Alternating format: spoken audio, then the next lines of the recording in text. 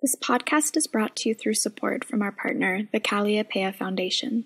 The Kalliopeia Foundation envisions a future grounded in compassion, respect, dignity, reverence for nature, and care for each other and the earth. Other programs supported by Kalliopeia include the Rocky Mountain Seed Alliance and Lead to Life. To learn more about Kalliopeia's mission, visit kalliopeia.org. Hey for the Wild community, Ayana here. Last week, we celebrated the five year anniversary of this podcast. This marking of time came and passed so quickly, but it's a milestone that I'd like to take a moment to honor. In large part, this podcast was brought to fruition as a provocation.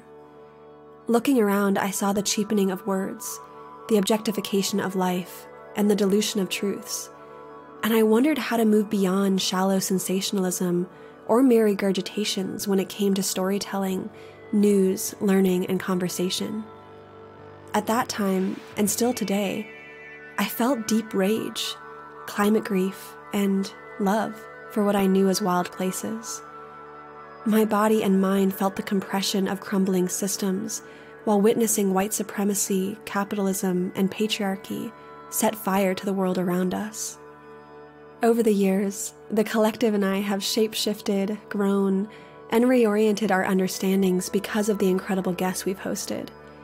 It's been breathtaking and life affirming to converse with some of the brilliance that has shared time with us.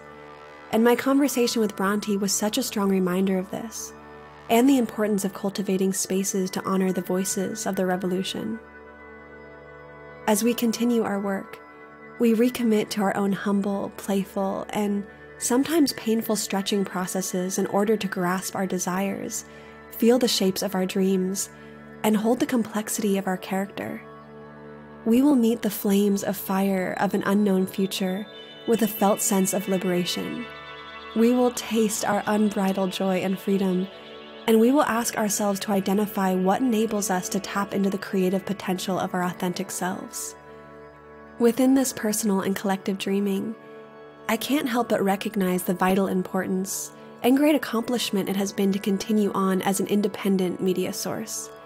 While no doubt challenging, this has allowed us to speak to times of collapse and transformation without having to feign acceptance of false solutions or objectivity. However, when you reckon with the notion that objectivity is killing the earth, there is really no other option but to trust the power of truth. We will not yield to corporate strongholds or conform to watered down notions of what is possible. We are held in transparency and integrity of our team. However, these are not endeavors that we can or should do alone. They require deep commitment and accountability to our community. And as for me, more than ever, I feel called to continue to be a provocateur, in the sense of reminding one another of the absolute irrationality of this world to explore new ways of telling uncomfortable truths, and to bring us back into our boldness. For myself, the erotic has been my teacher, reminding me that we cannot do reconnection work without looking at each other, the earth, and our bodies. I say this knowing that many understandings of the erotic have been cheapened, and we must work to reclaim the erotic as a power that can connect us, that pleasure and desire break the autopilot modality of oppression and modernity. And so, as For the Wild continues, much of our provocations must seek to bring us back to our senses. Stepping into our fifth year, we are opening the doors for collaborators, partners, and sponsors who are in alignment with our vision. For those of you who are listening right now and resonate with this message, please reach out to engage at forthewild.world. And for those who feel pulled to join our community and support, you can sign up for our Patreon as we grow our online community and learning lab around the conversations we hold on the podcast.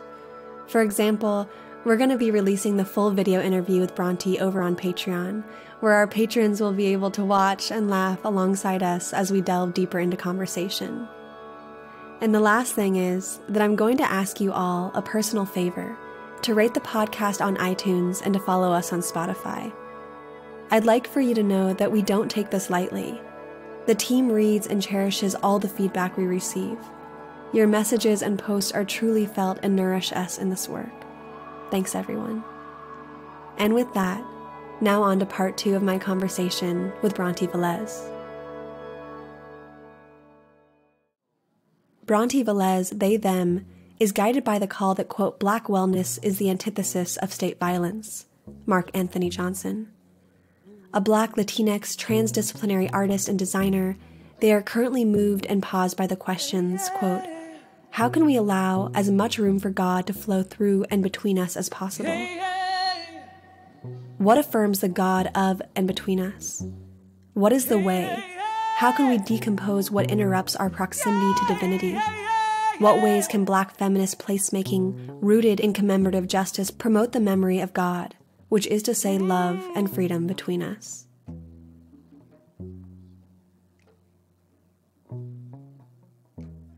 You know, we've previously discussed talking about the idea of pleasure in the apocalypse, which I so often come up against the idea that we can't find joy because the world is burning. And I know a lot of people feel that way.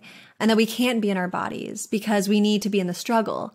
And of course, I'm drawing upon so much of Adrienne Maree Brown and Audre Lorde's work, who negates this and proclaims that actually, when we're in our pleasure, our capacity is stronger because we can't be powerful if we are denying ourselves our full existence.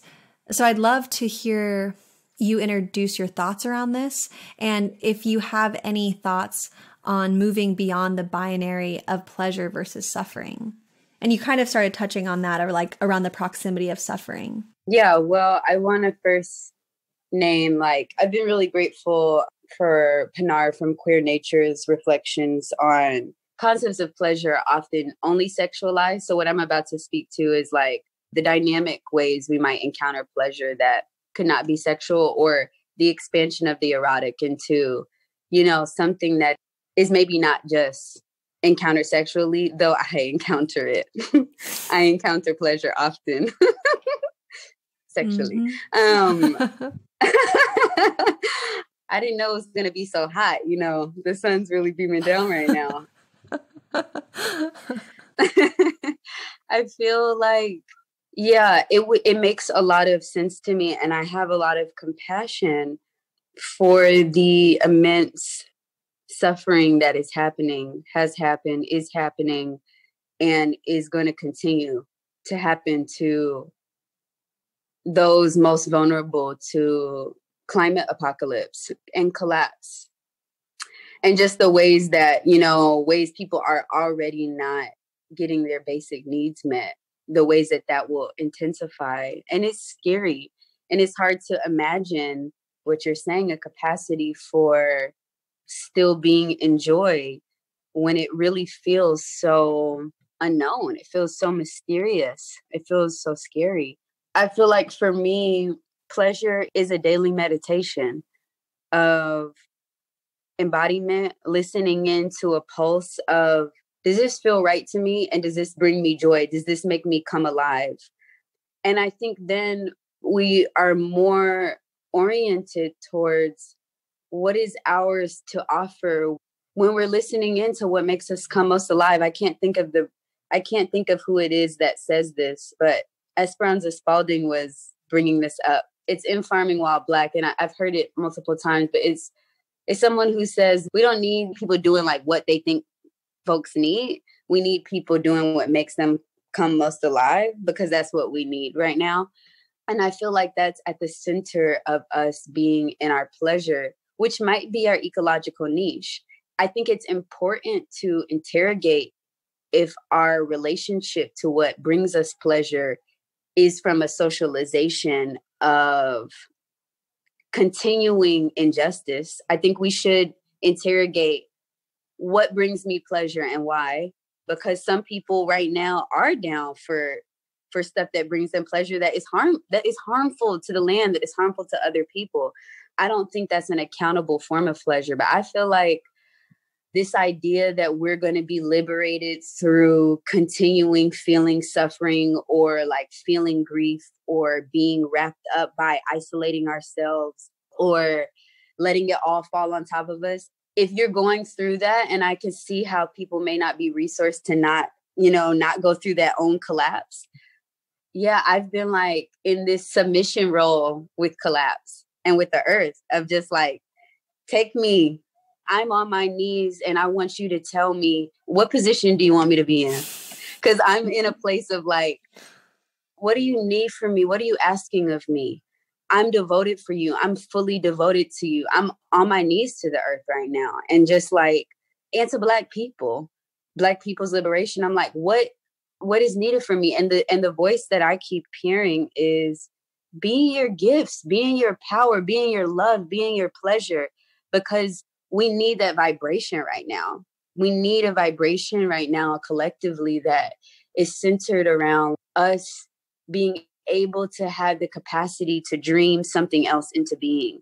And I think that that comes from a place where we're in orgasmic, ecstatic states. Like, I think that will come from like creating cultures of healthy ecstasy that bring us into trance, into listening, that jolt us into like letting our bodies be channels and conduits for liberation and that that can be like really exciting to be in that place where like i can't even access what the earth is asking of me and my role and responsibility right now especially if my shape for example folks who can't see i'm like turn inward and like shrinking. How is the energy of love and freedom able to enter me when i'm like literally my shape is like this and i know people experience chronic pain chronic suffering and there's so many ways that i was talking with a former professor greg childs about he was talking about the ways the academy and white supremacy deforms us and limits our capacity for pleasure physically because some of us especially folks encountering environmental racism depression from this six mass extinction all of these things it's hard to feel your capacity for pleasure. And i think that yeah that that can be elevated when we're in community with folks. Who are you calling in to help you out? Who is your support network? Who do you know who can who can you call together to be in some and, to shift maybe just yeah isolation is going to create more suffering. So and maybe it's not humans. Maybe you call upon maybe you call upon the land or ancestors or or benevolent like spirits to allow you to open up just the prayer of like opening up may my capacity for pleasure be opened. Make up my capacity for for joy be open. I've been praying recently may i have so much space creator for psychic freedom. Please i need as much space for psychic freedom as possible. Please move any barriers out of the way that are preventing me from having psychic freedom so that i may so that i may facilitate that pleasure for others if I'm feeling good, other people are definitely going to probably feel good. Yeah, that's liberatory. Mm-hmm. I absolutely agree with you that when when one is in that orgasmic state of being alive and in their bodies and their pleasure and their erotic eros senses, people are drawn to that. People are hungry to feel alive and embodied in something that can shock us out of our autopilot mode of being in modernity. Being in modernity with technology and industrial civilization, I'll just speak for myself, it cuts me off from my orgasmic state because it takes Absolutely. my attention away from my body, away from most of my senses other than just the sense that the screen, you know, per se is trying to capture at that moment. And and and we're talking about regenerative power. We're not talking about you know, we're not talking about destructive power here, but when one is in their power in this connection to the divine, to Eros, to the erotic, which I think is all the divine. I think they're all synonymous with one another. I think it also it sparks in people that wow, could I feel like that? Could I possibly tap into that energy? And then it's like this curiosity of, well, what do I have to release about myself, about my identity, about my conditioning, about my consumer addictions in order to begin to feel this alive with the earth because it's always with the earth. I don't think it can be apart from the earth body when we begin to feel our own bodies awaken with the pleasure of what it is to be alive, even in this time. And I think there's something subversive about being able to hold that amount of pleasure while we're also holding the hospicing and the grief and to be able to feel the intensity of all of the spectrum of emotion like what Joanna Macy talks about the beauty and the terror together. It's such a delicious way to be in this time. Like, I would much rather be in this empowered place of feeling at all than feeling like, you know, it's toppling on top of me and I can't, I can't possibly get out from underneath the bricks. Similarly, you mentioned thinking about the process of seducing people into liberation and questioning what is the capacity and limitation of sensuality in this paradigmatic shift? Like, how does making movements a sensual space open opportunity for different kinds of engagement to emerge? Like, what is the role of playing with erotic energies and muses? That being said, it also feels incredibly important to me to name that this conversation takes on different meanings and interpretations for those who have experienced different forms of trauma and shame around sensuality. So, what does it take to hold a container of safety for folks to engage with movements as a sensual space? I love it. I want to be in my senses. Is when I feel most wild and I feel most in my calling if I'm like just able to feel myself as a part of the body of the earth. We all deserve that that memory, that knowing, that wisdom that yeah, we should all be able to access. And I think yeah, it feels sad that like in our ways that we play with like resistance work and encounter our activism, yeah, and especially I, I think in relationship to neoliberalism, there's just these ways that they're disembodied. The ways we're organizing are not accountable to people's bodies or people's rest, or like what's actually the capacity of a human body and life to do a thing. I don't agree with like still taking us into these same sort of industrialized ways of getting towards liberation in like that we are like industrial machines that have no need to rest or to feel or to deserve especially yeah pleasure so i think sensuality is so important and i think for folks who have had experience with trauma and sensuality and and where that sadly for so many of us has been cut off so many of us that cord has been cut for what that means and just flattened for what that means. Yeah, for me, like being in our senses can can come in such a multitude of ways. And when I just finished Jenny Odell's text around resisting the attention economy, for me it feels like when we live in a culture that's so predicated on taking away our senses. Literally everything about the culture is in design. The experience of our mm-hmm. technology right now is all about anesthesia. What are the ways that we can make connections that reorient and redirect our attention back towards the earth and back into the vibration of our senses, of our listening, of our listening to our ancestors. And for me, the project of folks who so sadly are socialized who have learned to utilize sense connection in ways that are unjust, in ways that are are harmful. And when I think about like advertising, I'm like, it's so sad that like the culture of advertising is rooted in like actually really understanding what our eyes move towards, like how our hearts are open, how we connect to things what colors might we use what sounds might people like and and tune up to or or redirect it and focus their attention. And i feel like sometimes in culture and politics of activism we're not appropriating this way that this whole culture of capitalism is moved both by our shame and also by like drawing us into our senses into our pleasures into our desire.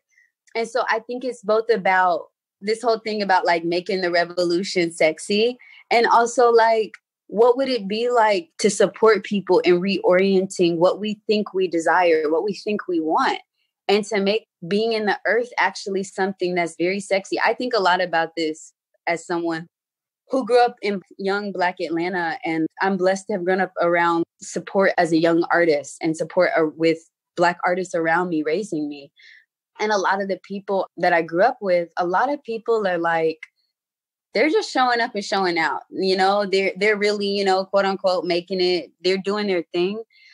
And also, I've asked myself a lot, how do you ask a dispossessed people to renounce possession?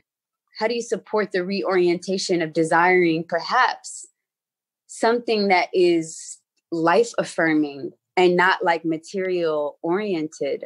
And for me, I'm like, how do we gather in public space to reorient and redirect our senses? How do we appropriate propaganda? How do we think about the practice of memetics in our work? I think about that a lot with Lead to Life, of the work with Lead to Life, which one of the parts of our practice is transforming weapons into shovels. And for me, that's just about knowing really, it's so powerful when people hear it, they're like, whoa. They're drawn in, they feel the power of it. But that's not really the work we don't need to make more stuff. We don't need to make more things. That practice is wasteful. We try to limit like how many shovels we make because what the real part is is that we know that spectacle is what people are drawn to. People came to our ceremony in Oakland in January because I'm imagining they wanted to see a gun turn into a shovel. Not everybody, but like that's kind of fun to go watch. People are moved by these Coliseum the, these weird things, these kind of Roman traditions and paradigms of like going to see spectacle.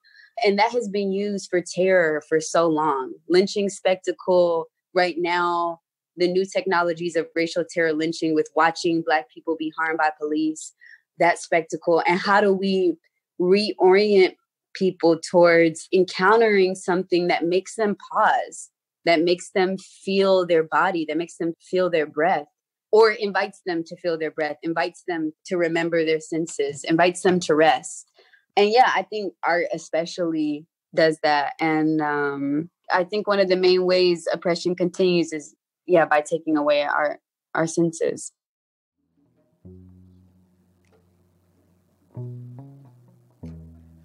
Come down, come down, revolution come down. Come down, revolution, come. Oh, oh, oh,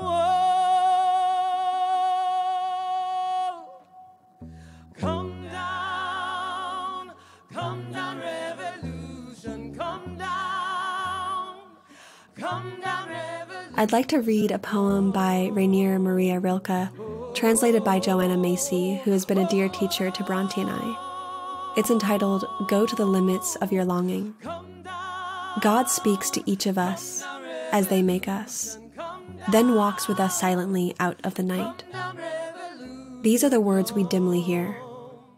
You, sent out beyond your recall, go to the limits of your longing, embody me, flare up like a flame and make big shadows I can move in. Let everything happen to you beauty and terror. Just keep going. No feeling is final. Don't let yourself lose me. Nearby is the country they call life. You will know it by its seriousness. Give me your hand.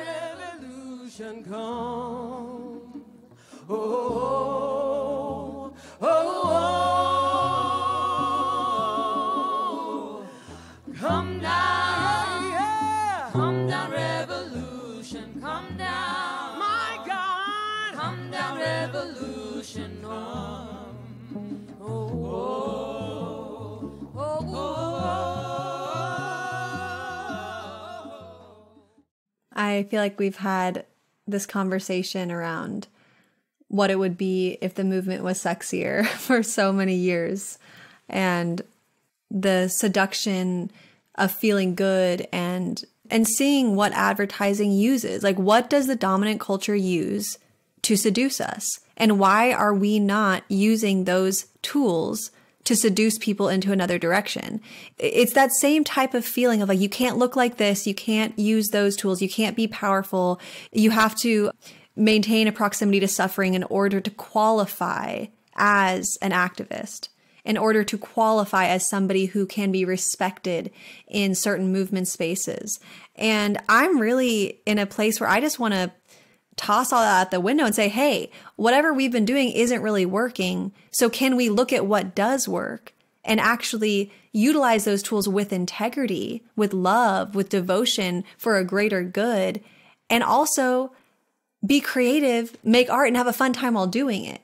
And I'm not blaming anybody for this. I think it's a product of oppression. Now it's time, in my mind, to shift this way of relating to being an activist and not letting these cultural oppressive tactics bleed in and then stop us from being our fully erotic creative selves. But I, I do want to talk a bit more about the value of aesthetics and more specifically, perhaps we could talk about when aesthetics are developed as a strong ideological alternative to dominant notions. For example, the creation and nourishment of Black aesthetics. So, how is this an example of the importance of looking good and being empowered in the self through style and identity? What is beauty's role in liberation? We definitely, uh, with Lead to Life, are thinking a lot about beauty and decentering Eurocentric concepts of how we understand beauty, what shapes that looks like, heteronormative concepts of beauty. Yeah, thinking about the root of aesthetic just meaning sense, senses. That's what it means. So, thinking about like for me, Black aesthetics is about Black senses and uh, Black cultural traditions that made sure people were down to still look good through and through.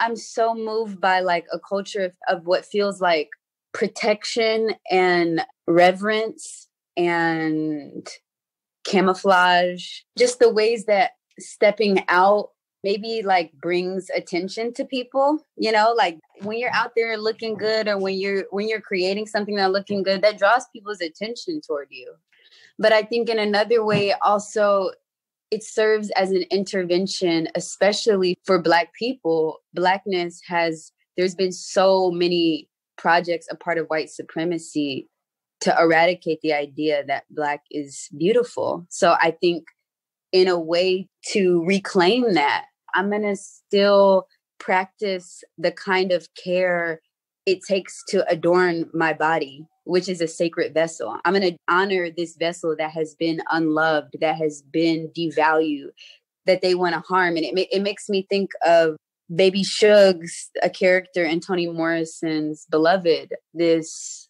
section called The Clearing, where Baby Suggs is like, they're never going to love your body, so you need to love it. She brings all of these people in the community into this clearing and she has them touch up on their neck touch up on all your organs and your body and your flesh because they want to do away with your body. And so for me, it's so important to me when I see people who like want to just to dress themselves and they're just their own body like that is such an important thing and then i think that like beyond that like i think we're all kind of there's something from this uh, documentary the cruise where he's talking about rising to the occasion and just wanting people to rise to the occasion of the day, rise to the occasion of being alive. And I feel like we're not rising to the occasion of, we're not rising to the occasion of being alive in the earth. And that doesn't need to require money or, or makeup or any of, or these things to look good. It's not about looking good again for like Eurocentric notions of beauty, but like what makes you feel good and what do you see as beautiful and how might adorning yourself in that be a way of protecting your liberation and facilitating for others the trust that something else is possible i know for some people it endangers them to embodying what they feel is beautiful for some people they've had to neglect that because heteronormative and eurocentric understandings of beauty it's not been safe for people to actually like fully to fully move into what they feel is beautiful. But yeah, what a courageous thing I think for like queer black community to be like I'm going to fully embody and dance into what I see as beautiful for femmes, for women, for everybody, for everyone to come into like, yeah, I want to be in my beauty. I think it's so important, especially when we've yeah, we have so much shame and insecurity around ourselves. I know I do all the time still. And like, it's so sad. It's so, so, so, so, so, so sad.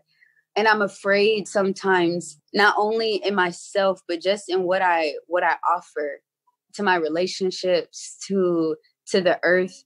I feel like I offer half of myself because we haven't been taught that it's safe to be in our air beauty, especially when the ways I've heard you talk about this, Ayana, when oftentimes the ways we encounter beauty and the ways we relate to beauty is to extract, is to take from, is to is to think I want some of that. So I think there's something that you spoke to about subversion and beauty. I think there's something that we've been thinking about with lead to life around how do we keep these kind of these boundaries and container around beauty where people are drawn into something very beautiful, very liberating, but where you can't take from it. It's protected. Yeah, it's fortified. Yeah. And I think I think there's a lot of liberation wrapped up there. Mm-hmm.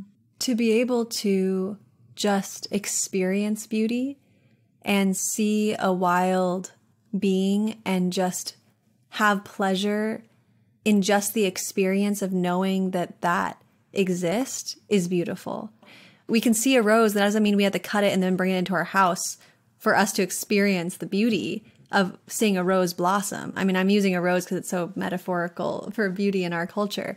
But I do think that there is something about the safety of beauty and and that's something I've had to work through a lot around oh well if I show up in my full regalia will I be hurt in some way shape or form and I want to speak to those people who do feel scared and for true reason people have gotten hurt in their bodies. And I really think that this experiment in our minds of how we can work through even in our own lives experiencing beauty without extracting it and then you spoke to adornment and I remember speaking with Martin Prechtel years ago, and he talked about the people in Guatemala and how they would adorn themselves to farm. They would weave these incredible tapestries over their body to, for the divine. This wasn't just for them to look good. No, I mean, of course, yes, I'm sure they would probably feel beautiful when they put on these incredible outfits.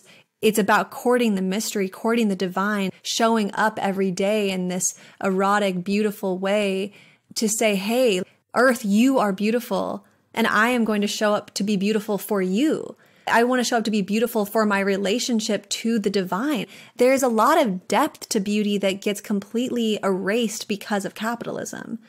Our relationship mm. to it gets tarnished. It becomes something pornographic rather than something spiritual. And yeah. um, I also want to say I was thinking about my last you response. Better say that. yeah, yeah, uh, yeah yeah i've i've definitely been feeling the connection to the erotic spirituality and and awesome. it's so much beyond sex it's not about oh yeah. you have this erotic energy you just need to have sex and then it will go away. I don't ever want it to go mm-hmm. away. I don't I'm not trying to satisfy it's not about satisfying the erotic energy. It's about tending to yeah. the erotic energy. It's about yeah, uh, yeah. taking care of the erotic energy, uh, worshiping the erotic mm. energy, because that is this. You sound grown. Ooh, ooh, I feel it. I feel it so much, and I, I know patriarchy is very threatened. Patriarchy mm-hmm. is very mm-hmm. scared, especially for feminine uh, or female identified folks who, and honestly, queer folks too patriarchy is very mm-hmm. scared for anything other than them to be mm-hmm. able to hold the erotic energy. It's okay for them to be mm-hmm.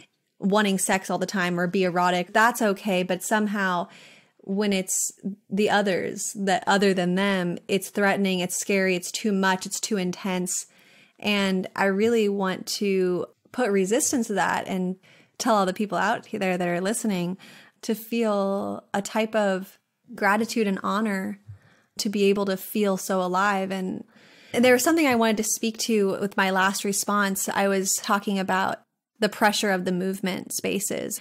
It's by design that these wounds are put into movement spaces. I really respect people in movement spaces. It's not even that I blame them for those things because I know it's not even them who have put these restraints on others. It's a way of just living through the trauma that is from honestly, I think coming from the outside within. And so I just wanted to clarify my thought because it wasn't thought out as clearly when I said that. But Yeah.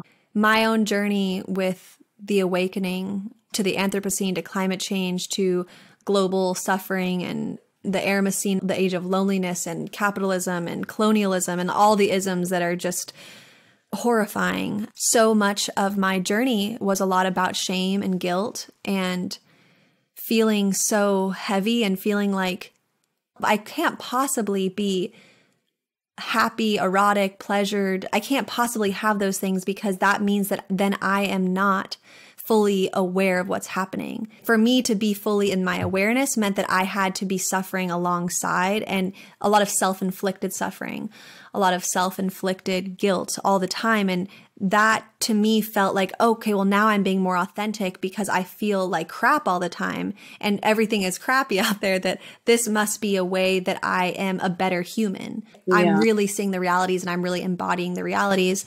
And it's taken me a long time to get into this place where I feel that pleasure and feeling joy is actually beneficial to the movement.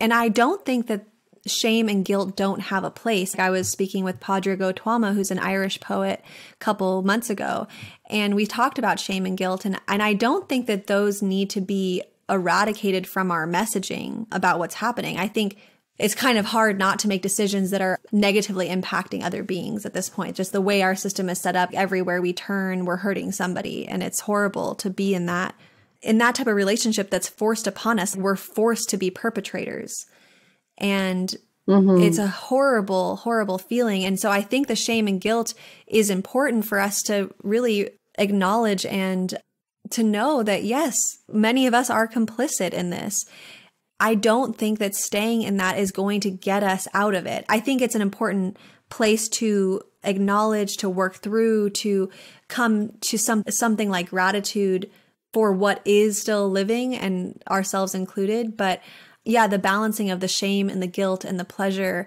kind of goes back to this idea of just feeling the full spectrum. That I think it's completely possible and something I'm really noticing in myself. I can feel completely somatically turned on and pleasured, and at the same time, feel the grief of what we're losing and feel the grief of my role and my complicity in the suffering of other beings.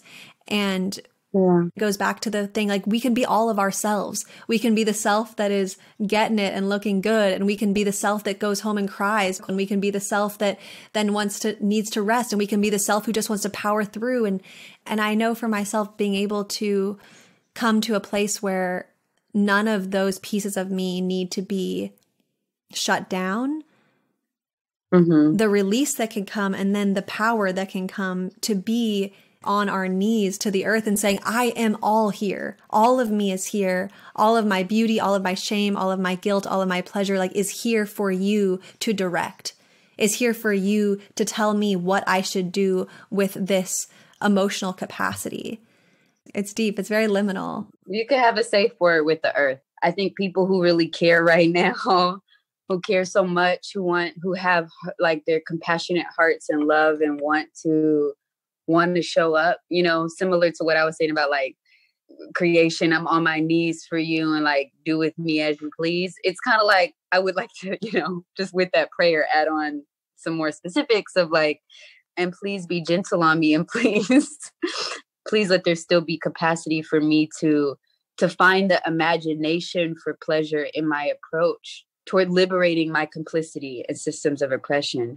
May I have the capacity to imagine that there's pleasurable pathways, there's hilarious pathways, there's joyful, clowning, trickster pathways to do this. And like, it doesn't have to be through these modes of suffering that have gotten us here. That doesn't make sense for us to continue to, to embody that suffering and to just notice and touch into the ways we've internalized that and to ask for support where we can and how we can and to be mirrored in that. I think it's really important I just feel excited for like liberation movements that touch into that capacity. I've done things where like recently I am completely embodying a refusal to be desensitized or to normalize what is going on right now, to normalize suffering, to be desensitized to suffering, to be able to scroll through suffering. I'm at a point where I'm willing to allow myself to encounter the indigestibility of it, to encounter the shock, though I'm not shocked, to allow my body that space to touch into the suffering and then to be also willing to know that it's not accountable to the earth to then isolate myself in that in that grief. That is not going to help anybody.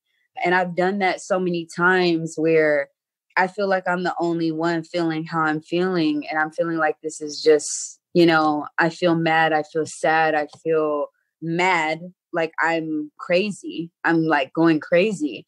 Um, and i know a lot of people feel that sensation. And sometimes for me, I'm somebody who it's very hard for me to reach out for help. I feel like I've been socialized to be able to show that I could do things on my own and that made me successful or powerful is that I'm a powerful, badass black woman because I can do everything. I'm bad all by myself kind of kind of thing. And it's been hard for me to say I need help. It's been hard for me to say, can you help me revive pleasure? Can you touch me like this? can you hold me like this?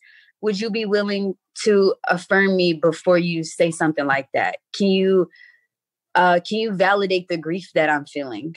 And then sometimes, you know, like if you see your friends or people in your community who are isolating themselves, especially folks who are on the front lines or folks who are in movement work, reach out to them. Ask folks how they're doing. Like, especially, I think people who people idolize or pedestalize and see them as figures and that's happening a lot right now with social media and like kind of these like movement leaders who are helping us imagine another way as possible. That shit's got to go in terms of seeing people as like these all-knowing figures who don't experience pain. I think both for those who are empowered to be transparent that we need support and then for people also to not hold people to that. I feel so sad about like greta thunberg and Xiuhtezcatl and these kids right now who are, you know, doing this Youth Gov work. And I'm just like, how are these children doing? Are people protecting and supporting these children's health and wellness and pleasure? Like, are they getting to be children? Are they are these kids gonna be get to be kids? If I have a kid, will they get to be a kid? You know, the scariness of that.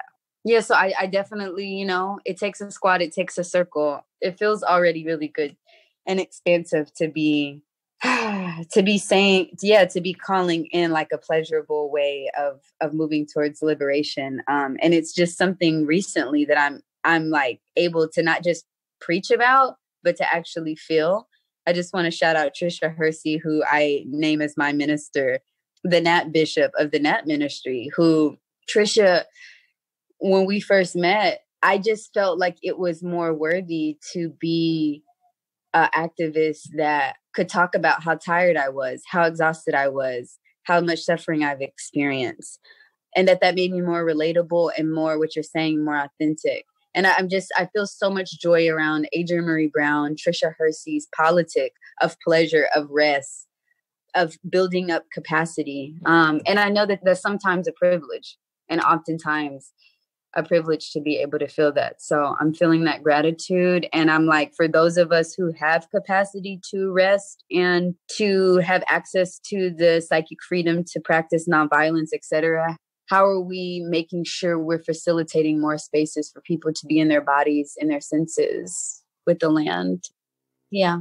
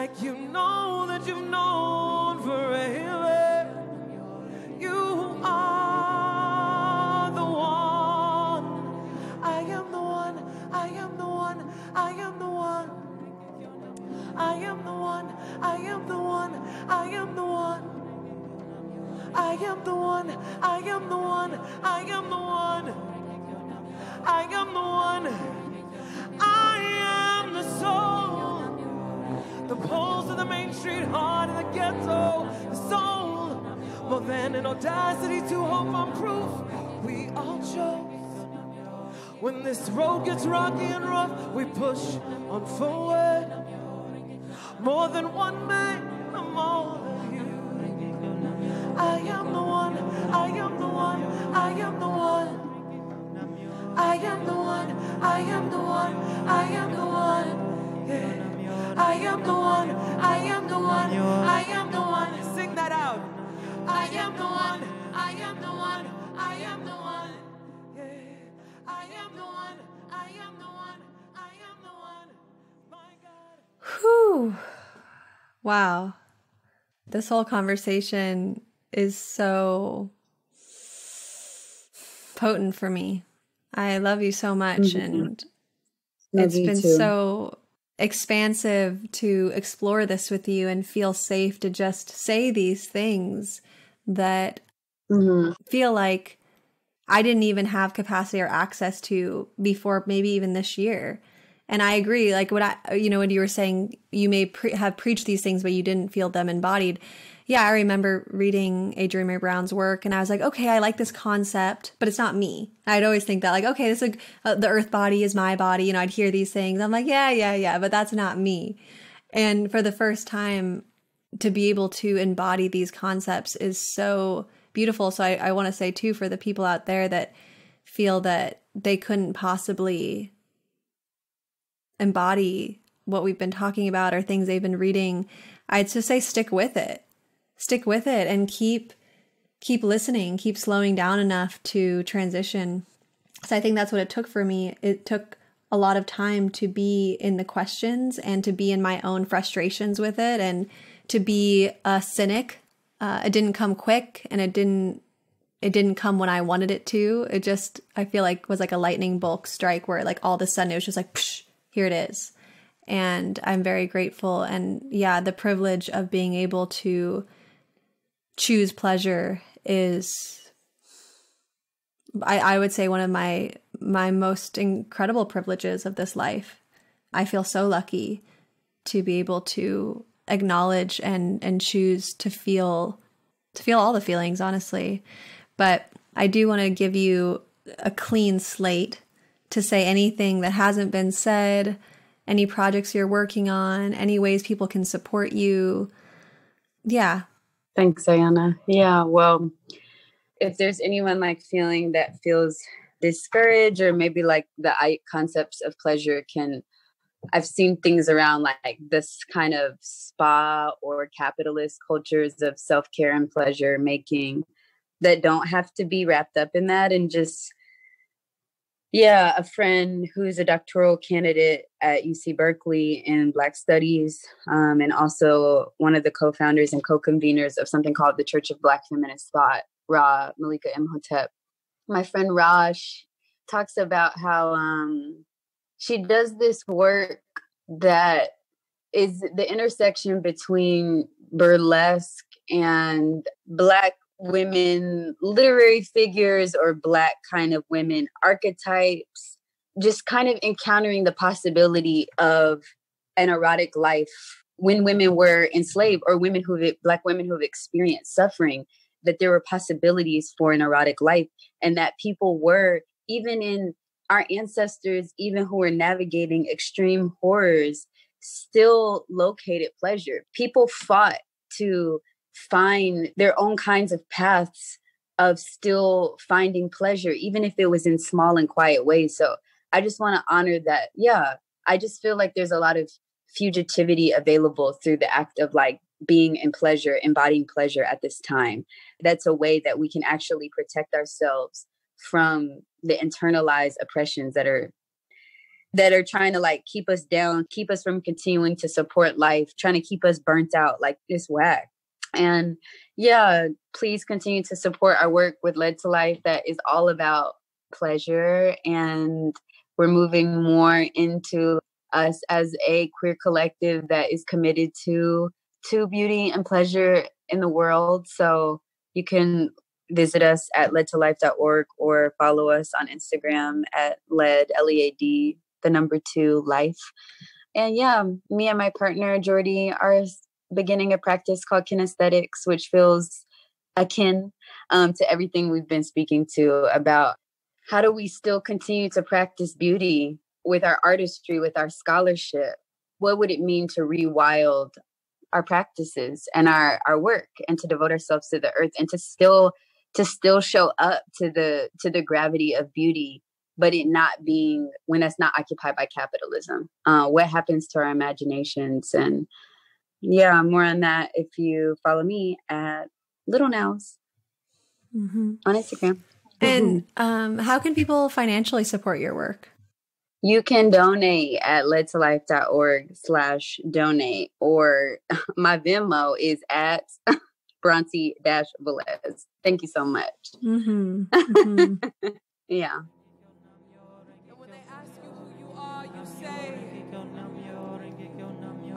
Thank you for listening to another episode of For the Wild podcast. I'm Ayana Young. The music you heard today was from Jennifer Johns, the members of the Thrive Choir, and Jordy Rosales on cello. Both songs were recorded at the Lead to Life Oakland ceremony. The opening music under our manifesto is Jeremy Harris. I'd like to thank our fabulous team Aidan McCrae, Andrew Stores, Carter Lou McElroy, Erica Eckram, Aaron Wise, Francesca Glassbell, Hannah Wilton, Melanie Younger, and Suzanne Dollywall.